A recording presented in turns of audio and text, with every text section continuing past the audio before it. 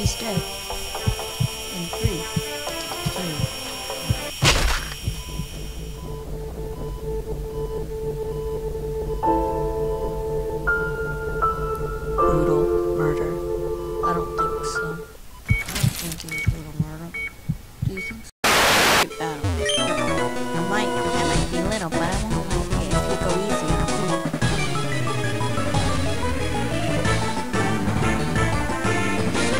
Bug catcher Anthony like to battle.